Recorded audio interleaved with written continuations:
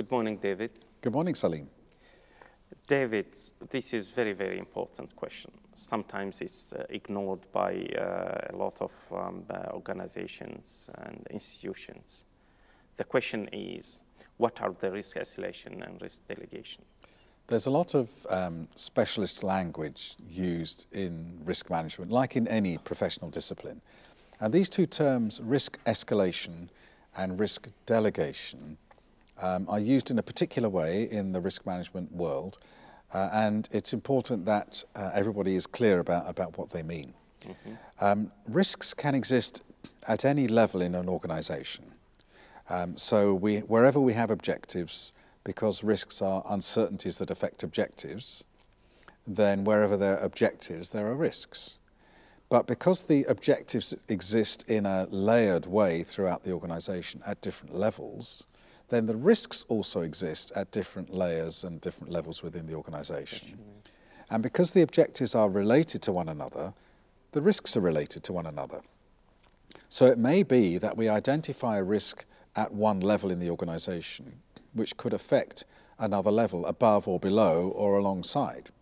Mm -hmm. And so what we have to have is a process, a, a mechanism for passing risks upwards in the organization or passing risks down in the organization or passing risks across to somebody else. Yeah. The terms that are used for passing risks up the organization, the term is to escalate the risk. It's like a, an escalator is a moving stairway and it goes up. So you increase the visibility, you increase the level of authority, you increase the level of seniority of the people mm -hmm. who mm-hmm. are aware of the risk and, and taking action on it. So if I identify a risk in my project, which doesn't belong to the project, but it belongs to the program or it belongs to the department, I don't just hide that risk. I, I put it on the table and I hope somebody finds it. Or I don't throw it over my shoulder and say, nothing to do with me. I pass that risk on. And if I'm passing it on to a higher level, we use the word escalation. If I find a risk that affects someone below me in the organization, perhaps in the operations or perhaps in a, in a separate department completely, then I can delegate the risk to somebody who would normally work for me or work with me. I could delegate a risk to a supplier or to a subcontractor.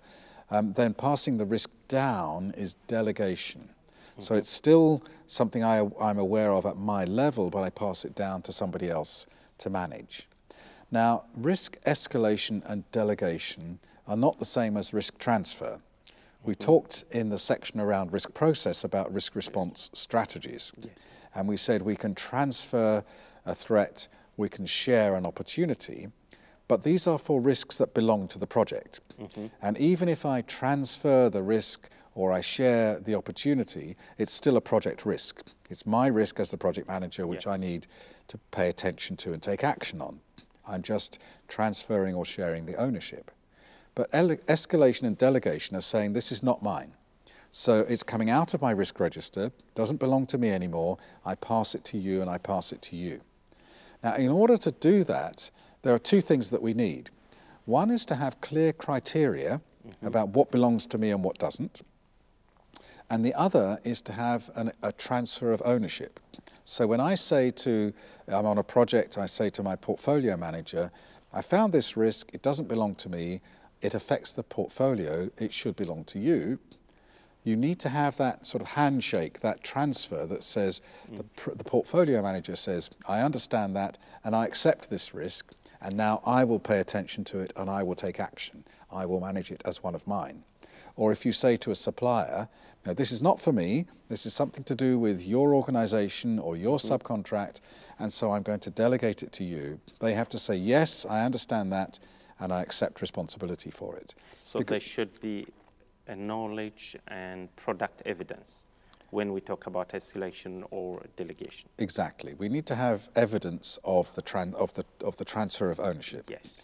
So we're saying, uh, you don't just say, oh, well, I think the portfolio manager should take care of this, and then you forget, mm. because they may not agree. They may say, it's not for me, it's for somebody else and then the risk is falls between the cracks and nobody picks it up and deals with it. So we need to have that uh, clear acceptance, that clear recognition. I'm passing it to you and you say, thank you very much, I've got it. But we need also those criteria that say, for example, on a project with a budget of maybe $1 million, and you have a risk with an impact of $5 million, mm-hmm. then you say, well, this is too big for me. I give this to this person when it's $5 million. When, I, when it's less than 1 million, I keep it to myself. And so you have an escalation criteria which are agreed, yes. or delegation criteria. This is less than $5,000. I don't care about this. I pass it on to someone else. Yes. And so those kind of criteria need to be set as part of the scope of the risk management process of the project. Although you have uh, uh, escalated or delegated, uh, if that means you don't have any more any responsibility to deal with that risk. That's right. Uh, that's why escalation and delegation criteria and ownership are really important because you're saying, I found a risk that is not mine, that doesn't affect my objectives. So I really don't care about it. It's an uncertainty that doesn't matter for me. Even the feedback to you is not important. Well, the only feedback you need is that somebody has accepted the risk and is taking it forward and they will manage it. Because it's a, as a professional, you don't want to see something that you know is important being forgotten. But it's not for me to manage. Mm -hmm. My only responsibility is to get it to the person who should be managing it and make sure they do. So the most important question here for project managers mm. will be how do they know this risk needs to be delegated or this risk needs to be uh, escalated? It's very simple. Because risk is the effect of uncertainty on objectives, and a project risk is the effect of uncertainty on project objectives, mm -hmm. or as we said earlier, uncertainty that matters. If a risk doesn't matter, doesn't affect my project objectives, it's not mine.